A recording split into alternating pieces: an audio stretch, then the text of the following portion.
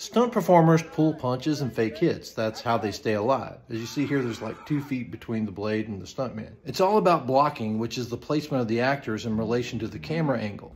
So my son and I decided we'd take a swing at it. As you see, there's a safe distance between me and the prop. But when you film it from this angle... Hey, Dad. Yes, Watson? Cinder Boy. Like I said, it's all about blocking.